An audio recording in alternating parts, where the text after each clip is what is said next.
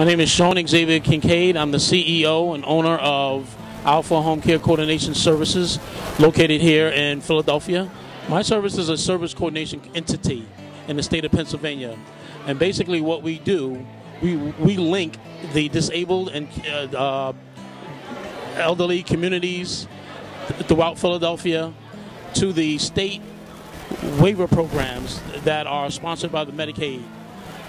So, say, say you have a uh, grandmother who's disabled and or elderly, she needs help in her own home.